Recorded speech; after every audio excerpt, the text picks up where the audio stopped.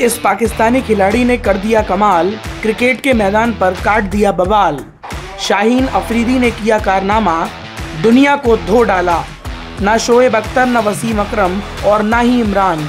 शाहीन ने रच दिया नया इतिहास, कर दिया कुछ खास।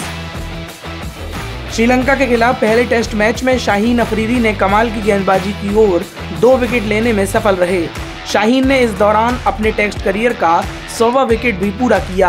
शाहीन ने एक ऐसा खास रिकॉर्ड भी दर्ज किया, जो इससे पहले कई और क्रिकेटर कर चुके हैं। शाहीन अफरीदी पाकिस्तान की ओर से टेस्ट में 100 या उससे ज़्यादा विकेट लेने वाले 19वें गेंदबाज बन गए हैं। वहीं शाहीन ने सौवे टेस्ट क्रिकेट के दौरान अपना एक नया रिकॉर्ड बना लिया है। आपको बता दें कि इस रिकॉर्ड के साथ ही उन्होंने पाकिस्तानी गेंदबाजों के रिकॉर्ड को तोड़ दिया है। शाहीन अफरीदी पाकिस्तान की ओर से पारियों के हिसाब से सबसे तेज सौ विकेट लेने वाले चौथे पाकिस्तानी गेंदबाज बन गए हैं।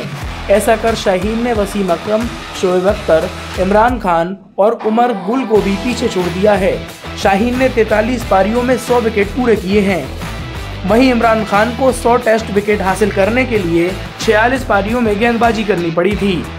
इसके बाद शोएब अख्तर ने अपने टेस्ट करियर में 100 विकेट 50 पारियों में गेंदबाजी करने के बाद हासिल किए थे। वहीं वसीम अकरम ने अपने टेस्ट करियर में अपने 100 विकेट 50 पारियों में गेंदबाजी करने के बाद पूरे किए थे और उमर गुल को 100 टेस्ट विकेट, इक्यावन पारियों में गेंदबाजी करने के बाद हासिल हुए। वहीं पाकिस्तान की ओर से पारियों के हिसाब से सबसे तेज 100 विकेट लेने का वर्ल्ड रिकॉर्ड वकार यूनुस के नाम है। वकार ने अपने करियर में 100 टेस्ट विकेट केवल 35 पारियों में हासिल किए थे। टेस्ट मैच की बात करें तो श्रीलंका ने अपनी पहली पारी में 6 विकेट पर 242 रन बना लिए हैं।